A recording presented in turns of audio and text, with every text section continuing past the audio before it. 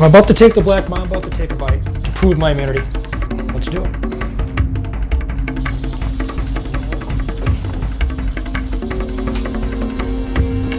Ah, got me twice, three times. Shoot. Right in the finger. I'll do one more in the arm. Tell me when you're ready. Make it fast. And two more bites. Man, is that throb. Is that too much venom in your blood? Uh, we're going to find out.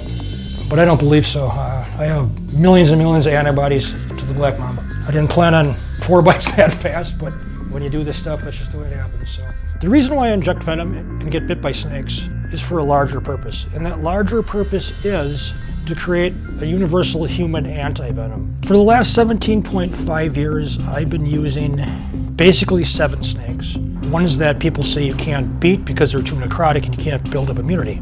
Wrong. You can build up immunity.